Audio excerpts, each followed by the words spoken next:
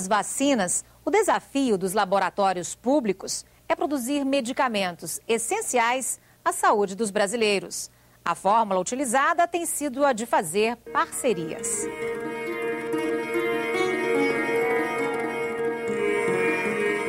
No fim da linha de produção, a embalagem registra o princípio ativo do medicamento, Oseltamivir.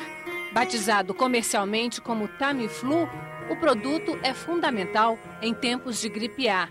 Nos laboratórios públicos de produção de medicamentos é assim, não há marca. O que importa é atender à necessidade estratégica do país, definida pelo Ministério da Saúde. Em 2009, o laboratório de Farmanguinhos, ligado à Fundação Oswaldo Cruz, produziu mais de 2 milhões de comprimidos de oseltamivir. Utilizamos uma rede de 18 laboratórios públicos, farmacêuticos públicos, é, que a gente tem é, no Brasil. Até 2006, esses laboratórios públicos, eles produziam é, é, medicamentos é, de baixo valor agregado, baratos e de grandes volumes. Mas em 2006, é, a, compra pelo Ministério desses medicamentos foi descentralizada para os municípios. Foi uma medida correta. Nós começamos a trabalhar numa política de dar aos laboratórios públicos é, a tarefa de produzir medicamentos de maior valor agregado, medicamentos de maior complexidade, medicamentos mais caros para o Sistema Único de Saúde. E para dominar a tecnologia desses medicamentos, eh, nós estabelecemos, ou estamos trabalhando no estabelecimento de parcerias público-privadas, mormente com empresas privadas farmacêuticas nacionais e com farmoquímicas nacionais. A produção do antiviral Oseltamivir seguiu essa lógica.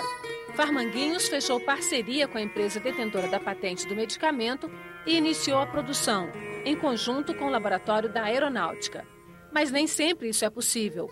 No caso do Efavirenz, antirretroviral, utilizado no coquetel de tratamento da AIDS, o Ministério da Saúde teve de quebrar a patente da droga.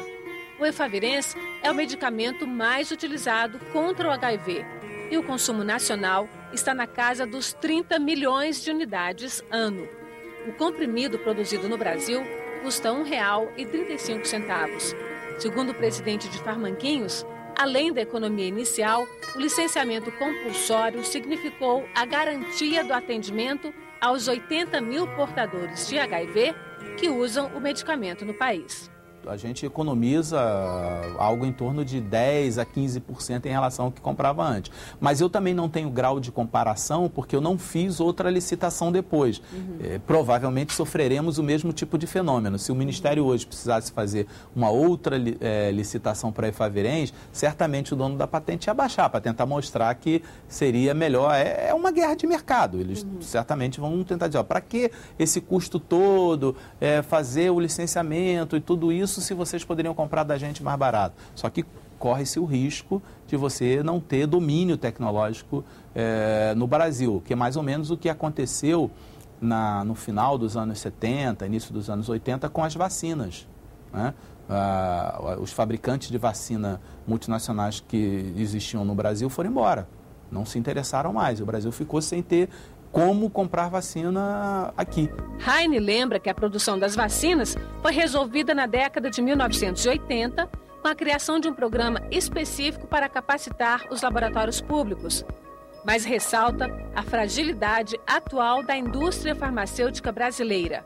A falta de produção dos insumos farmacêuticos, ou os sais de base, como são chamadas as matérias-primas dos remédios no desenho das parcerias de desenvolvimento produtivo que o governo tem feito, é, o que nós temos é, acordado é os laboratórios oficiais, entre eles nós, fazemos os medicamentos e uma farmoquímica nacional fica responsável por incorporar a tecnologia e produzir o princípio ativo. Porque hoje você tem aproximadamente 80% dos princípios ativos consumidos no Brasil importados. A deficiência é reconhecida pelos gestores públicos atuais que consideram a política de abertura do setor na década de 1990 um grande equívoco. é um problema, porque as nossas farmoquímicas foram todas para o Beleléu é, na década de 90, ou quase todas elas. Né?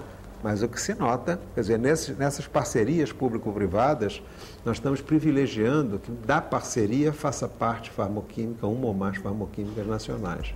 Quem lida com as doenças típicas dos países em desenvolvimento ou subdesenvolvidos ressalta ainda um outro problema: a falta de interesse dos grandes laboratórios privados em produzir medicamentos para essas doenças. Este é o grande, o grande desafio que a gente tem. Encontrar algum medicamento, as, as empresas, e assim, antimalárico é um medicamento que precisa ser barato, porque é para tratamento de, de regiões muito pobres.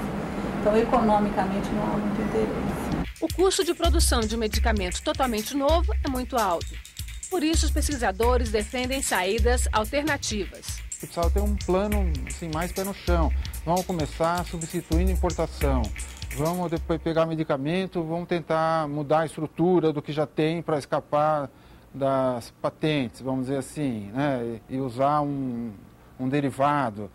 Para daí, porque para chegar na pesquisa pura, assim, que, que do nada, para chegar num medicamento novo, então, o custo disso é estimado em cerca de 200 a 300 milhões de dólares.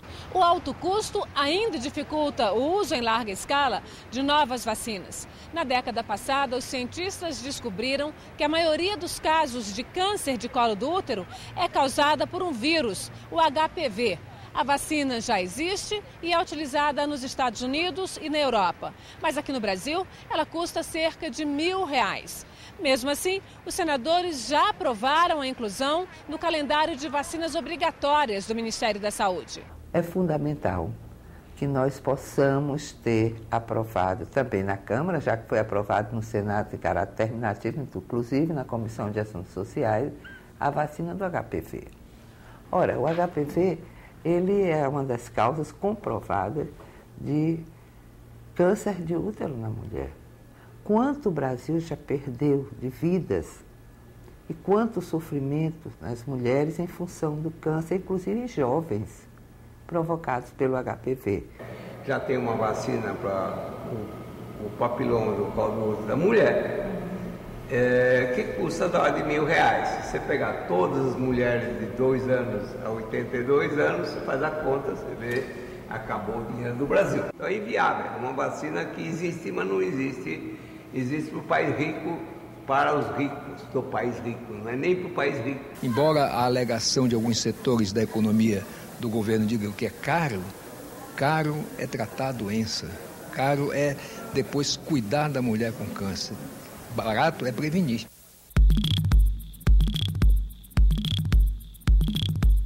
Disciplina, coerência e sonho. A frase de Oswaldo Cruz inspira até hoje pesquisadores brasileiros que ajudam a descobrir vacinas e remédios e a construir as nossas fábricas de saúde.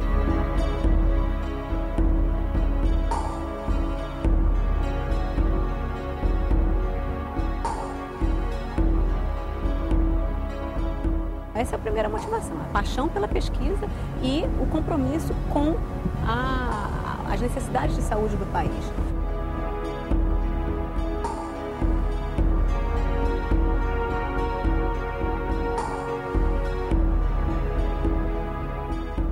produtor é, é alguém que aproveita o desenvolvimento público e transforma em produto. Ele pode transformar em produto para ganhar dinheiro vender, ele pode transformar em produto para garantir o bem-estar da população. Essa é a nossa segunda, é a nossa, é a nossa meta.